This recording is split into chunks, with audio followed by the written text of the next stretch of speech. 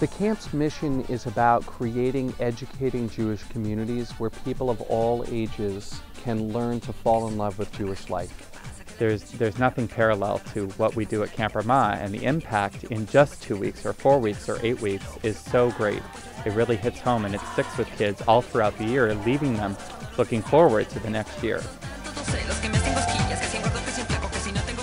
Dr. Lieber founded Camp Ramah in California. One of the things that Dr. Lieber understood is that Ramah be a community that is open to everyone in the Jewish community and how important it is that we have a strong scholarship endowment. And he was such a wonderful um, person who brought people together to help everyone in the Jewish community. Welcome to the art room. After we step in, then you tape this shut, and then just a pillow. We made Shabbat tables, bracelet, and earrings. I'm making a gecko.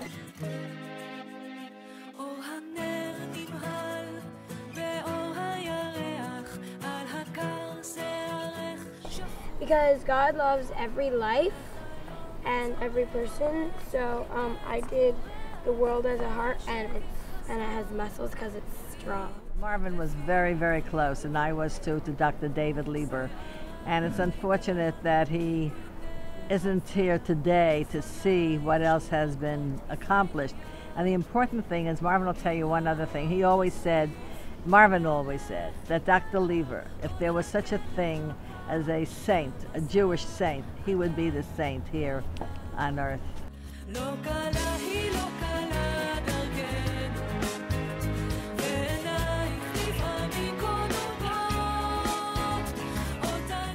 You can't really describe Dr. Lieber. He is indescribable, irreplaceable.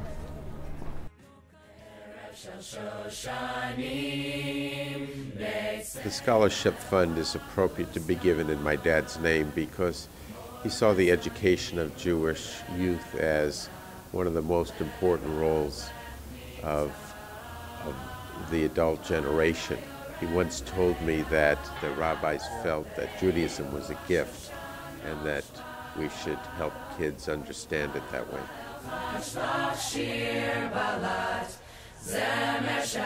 The importance of Camp Ramah is twofold. One, it's a uniqueness. It's unique because it's not only a camp, but it takes children who may or may not have been exposed to Judaism, brings them into a camping environment, and they walk away wanting to be Jews.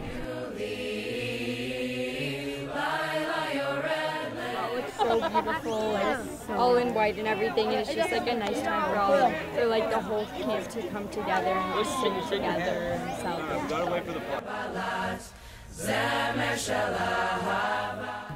I don't know how to make challah, unfortunately. I come here and let them make it, and I enjoy eating it. It is unbelievable. And just the way they make it, I think if I stood there for a couple of hours, I still wouldn't learn how to do it.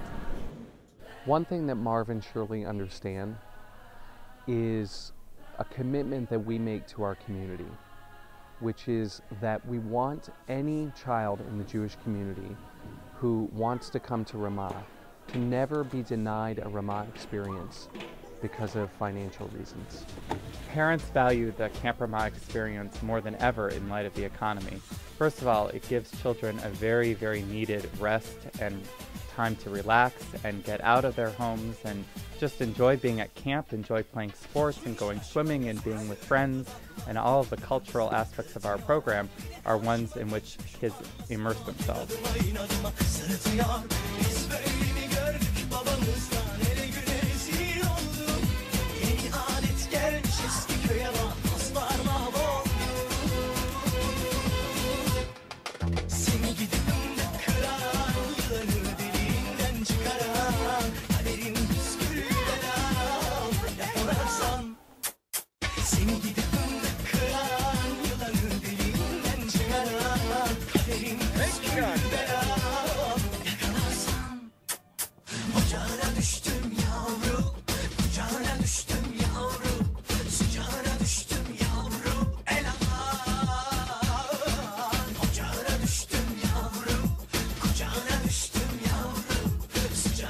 The most powerful memory offered at camp is the relationships that people build with each other. When you ask campers, when you ask staff members, when you ask anybody, alumni even, what they remember most from camp, it's their friends and it's the relationships that they build with each other. And the opportunity to feel connected um, in a social circle and more importantly as a Jewish people is incredible.